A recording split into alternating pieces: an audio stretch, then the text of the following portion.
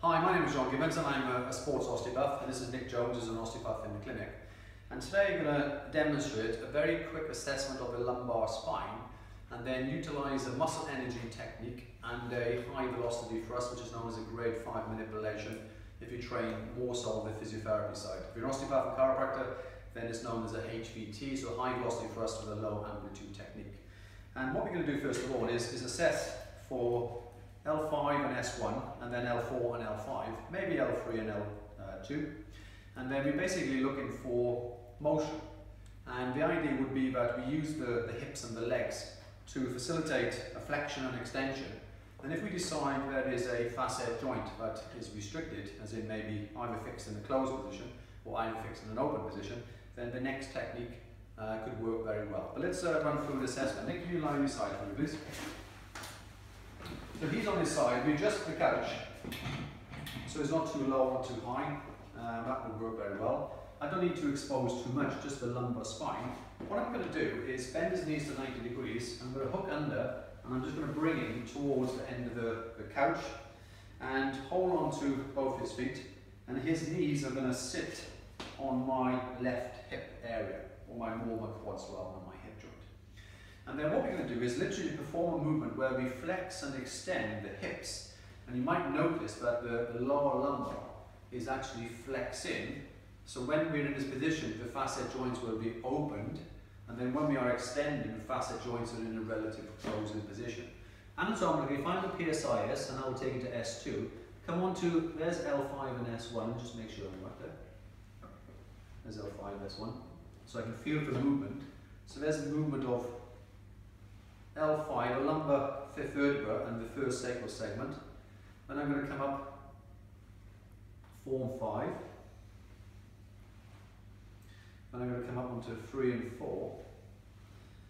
Three and four was a little bit stiffer, and so is L4, 5. L5, S1, relatively mobile. So I'm going to look at four and five. Now what we're going to do now is from that position, I'm going to flex him, so pre-tension from below, using his hips. Nick, can you slowly straighten your left leg, please?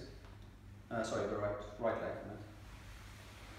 From there. Sometimes I get my left and right mixed up, but we're not all perfect. Put the foot into the crease of the knee.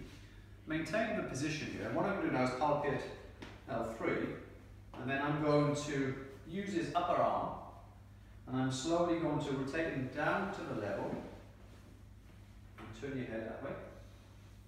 This hand onto his wrist to stabilize. And then we'll go slightly lower. Hand through. And then we're going to find this five and one. And this four. I'm going to literally roll him as if he's going to roll towards the floor. And this is a big key. Trying to rotate him using the forearm. You can use your hand if you want to. You can use the knee. I'm literally just going to use my forearm and just articulate. So I'm just feeling here. So this is feeling, and then this arm is doing. So I'm just going to use this arm just to, to encourage a mobilization technique here.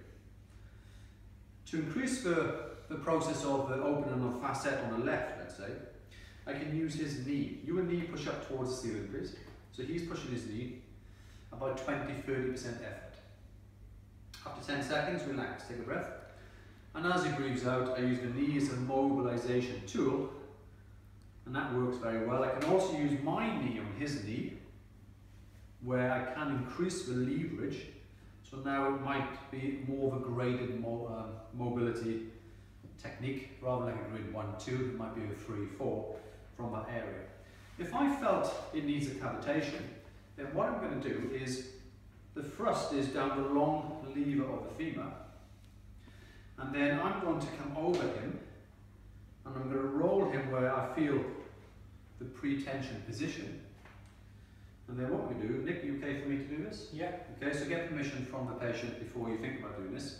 And this technique is only uh, demonstrated for those uh, therapists who are appropriately qualified. Now take a small breath in, please. And as he breathes out, I'm going to roll him, I'm going to lock him, then the thrust and then he cavitated just under my thumb.